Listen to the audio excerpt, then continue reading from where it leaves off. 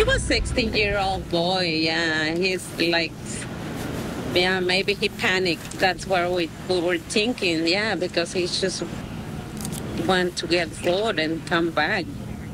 Family members coming to the defense of the young driver who led San Diego police on a short chase before slamming into a patrol car. Thank you for joining us this evening. I'm Kimberly Hunt. And I am Wale Aliyu. Investigators say 16-year-old Edgar Giovanny Oviedo was the driver behind the wheel Monday night.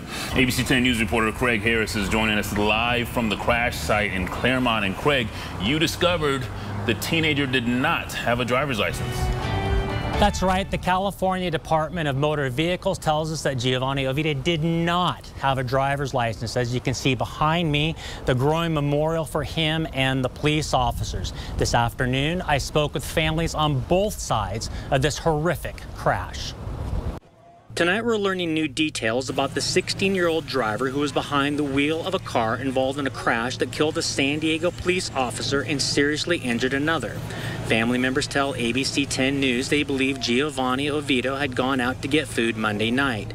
He never came home, dying in this car crash. He was always smiling. He would always want to be with his cousins. He'd always want to hang out with my daughter, too.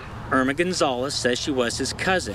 She said Oviedo, who goes by Gio, lives with his father. I don't know, to be honest, what happened.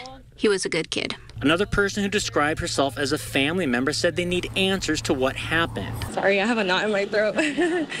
um, but yeah, like the, it's very unfortunate how it happened, and the family is very sad.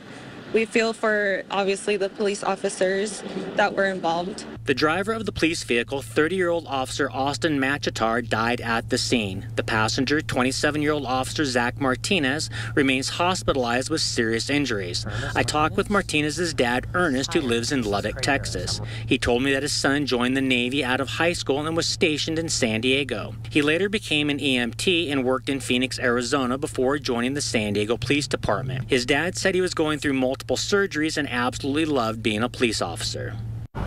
The California Highway Patrol is investigating the crash. Tonight, the family members of the 16-year-olds had this message for the police officers saying, we are also very sad for the families of the officers and the one who is in the hospital. That is also very sad. They have a family. Craig Harris, ABC 10 News.